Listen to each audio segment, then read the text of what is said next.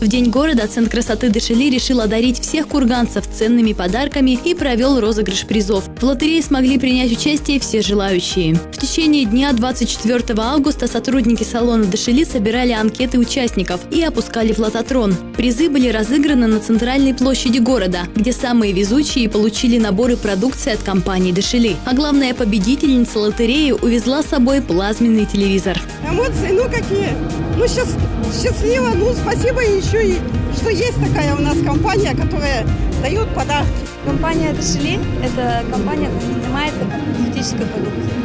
Значит, в нашем городе, в Кургане, мы чуть менее года здесь действуем.